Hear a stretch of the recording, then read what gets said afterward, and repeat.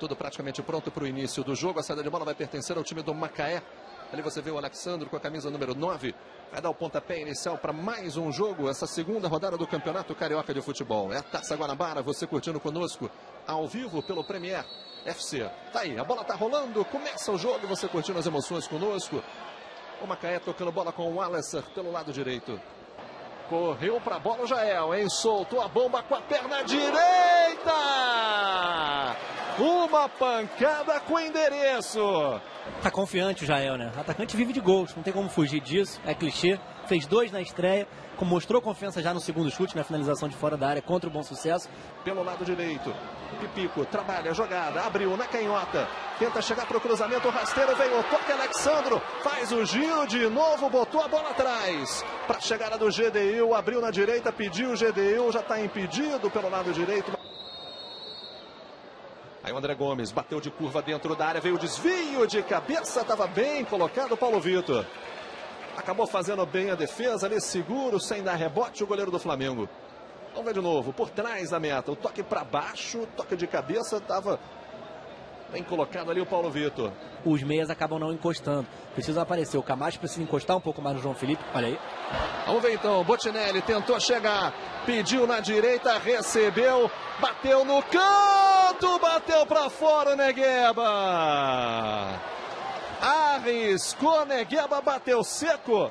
Uma bola sem efeito. Ela passou tirando tinta do poste direito do Luiz Henrique. Boa chegada do Flamengo, Rafael. Um jogo muito complicado, um lance parecido com o que aconteceu no primeiro gol do Flamengo contra o Bom Sucesso. Uma saída de bola errada. É um jogo onde o time pequeno geralmente precisa atuar muito próximo do seu limite, muito próximo de 100%. Aí o lateral esquerdo do Macaé tentou o toque por cobertura, está em condição legal! Saiu do gol para fazer a defesa o Paulo Vitor. Uma bela enfiada de bola do Gerson. Quase, quase que o Pipico faz o primeiro da partida. Aí o Wallace levou pelo lado esquerdo para a chegada do Gerson. Vem o cruzamento, toque de cabeça! Defesa espetacular do Paulo Vitor. Que defesa do goleiro do Flamengo. De pontinha de dedo, a bola que parecia iria explodir no travessão. Paulo Vitor coloca para escanteio. A falta que favorece o Flamengo ali pelo lado direito. Vem bola levantada na área, está preparado para a cobrança. O cruzamento, o desvio de cabeça! Passou pelo Jael. Ele esperava para complementar por muito pouco. A bola foi tocada pelo Camacho. Jael tentou chegar, mas ela tinha passado. É apenas tiro de meta para o Macaé, já cobrado aqui pelo lado direito.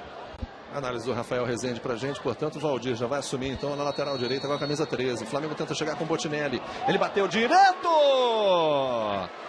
A bola passou com perigo. Os jogadores do Flamengo ficaram pedindo ali um toque do goleiro. Vamos ver se teve ou se não teve.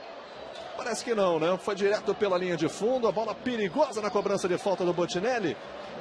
Aperta o Flamengo. Jael pediu Camacho, tabelou com Jael, tentou o drible na meia-lua, sobrou para o Camacho, bateu, pegou o goleiro! Que defesa do Luiz Henrique! Camacho buscou o canto depois da tabelinha com o Jael, a bola sobrou para o camisa 8, ele tocou no canto para a defesa do goleiro do Macaé, aí o Pipico encarou a marcação, Pipico fez o corte com a perna direita, bateu no travessão! Não tá valendo mais na reposição de bola, a bola explodiu no travessão, no chute do Pipico.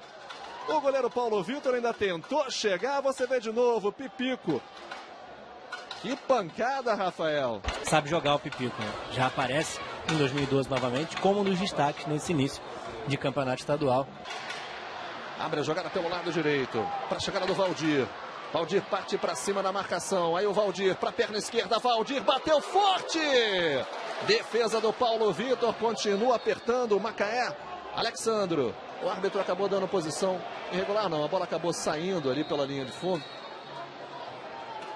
Não, na verdade deu posição irregular ali do Alexandro. Quando o árbitro aproveita para interromper a partida aqui no segundo tempo. Camacho Levou para o meio. Camacho foi carregando. Ainda o Camacho. Camacho Segurou atrás, bateu no canto. Pegou mal na bola, Muralha. Talvez não esperasse ali a definição do Camacho. Parecia que o Camacho ia arriscar. Você vai vendo ele, feio carregando, foi levando a bola. Ele deixou atrás e na hora de bater o Muralha não pegou tão bem assim. Vem o cruzamento, só tem o Pipico na área, o corte do Magal. Entregou errado, entregou de graça. André Gomes na tabelinha, bateu de bico. Pegou em dois tempos, Paulo Vitor. Num, dois, funciona a tabela de ataque do Macaé. Da dupla de ataque. O Joel, pela primeira vez no jogo, levou vantagem sobre a marcação. E olha o Alexandro entrando agora na área para o time do Macaé. Alexandro gingou, puxou para a perna esquerda, ajeitou atrás, a batida no canto, salva Paulo Vitor! E ele volta para buscar, a gente consegue agora acompanhar no replay.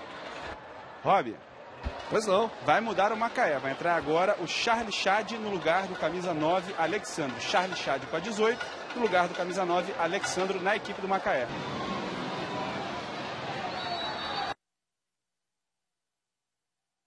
Olha, o Friburguense faz 2 a 0 e agora está expulso do jogo André Gomes.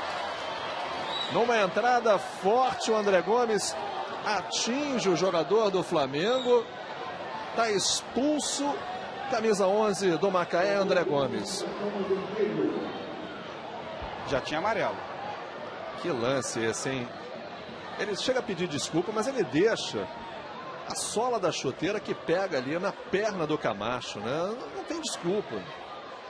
Botinelli bate mais no capricho. Gustavo toma mais distância. Botinelli caprichou! Pegou o goleiro! Botou para escanteio Luiz Henrique. E comemora com os jogadores do Macaé, hein? A bola ia lá dentro. Que defesa do Luiz Henrique. Leva para o meio Camacho, Camacho arriscou forte! A bola foi para fora! Ele coloca a mão na cabeça porque sentiu que o chute saiu da maneira que ele queria. Você vê de novo para o outro ângulo. Olha como a bola passa com perigo ali na meta do goleiro Luiz Henrique. Quando encerra a partida aqui no Moacirzão, o árbitro Antônio Frederico Schneider. Zero para o Macaé, zero também para o Flamengo.